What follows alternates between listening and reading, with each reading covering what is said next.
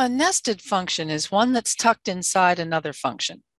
For example, we can nest a sum function inside another function that requires a number in order for the rest of the function to work.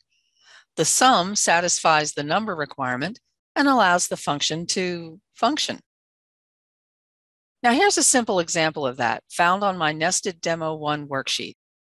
We have a list of four purchased items, and using a formula that nests a function inside it, we can add in the pre-calculated sales tax and obtain a donation that's the difference between the actual total and that amount rounded up to the next dollar. We calculate this with a sum function nested inside a round function. The round function does the rounding, but requires a number to round up, and that's where the sum function comes into play. So as you can see in cell C11, the invoice total with tax is $729.91.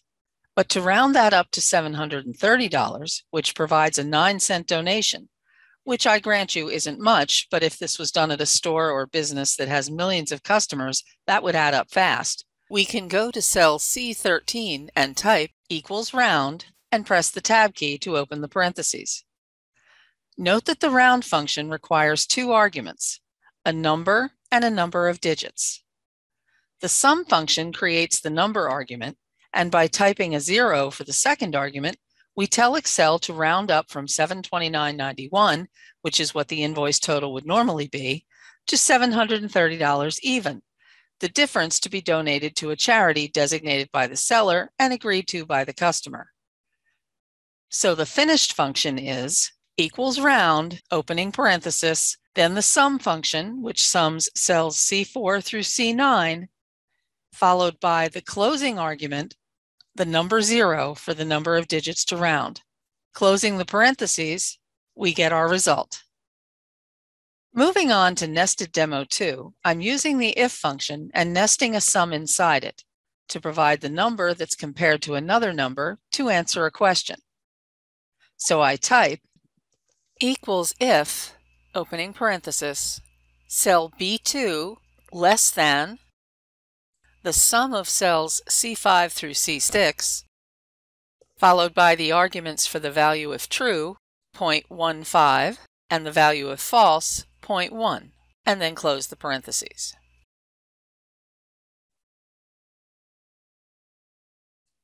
And that calculates the commission. Now, I'm betting that's confusing you, so don't worry, we'll break it down.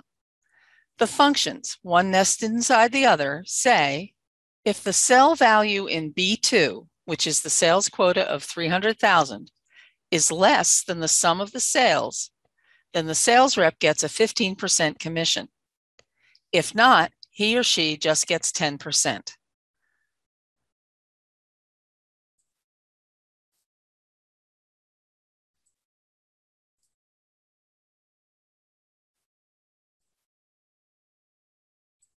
Now, you notice that the commission is calculated automatically because it's set to take the result of our if function and the sum nested inside it to create the formula in cell C10.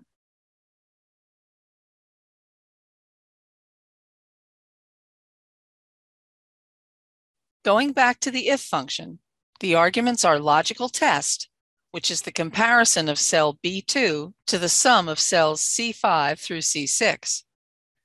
And then we run that test and get an answer, the value of true or the value of false.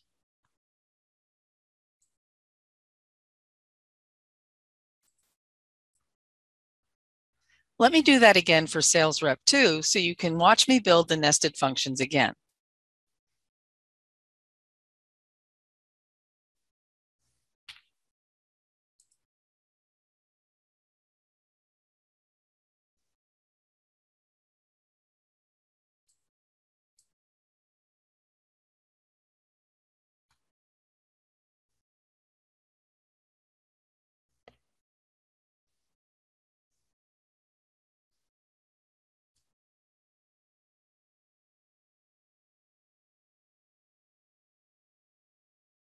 Again, the commission is automatically calculated using the result in cell D8.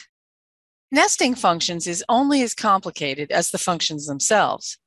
The sum nested inside the round function is simple because there are just two arguments. The sum nested inside an if function is a bit more complex, but very powerful. It asks a question, and then based on the answer, we can calculate another value. Pretty snazzy.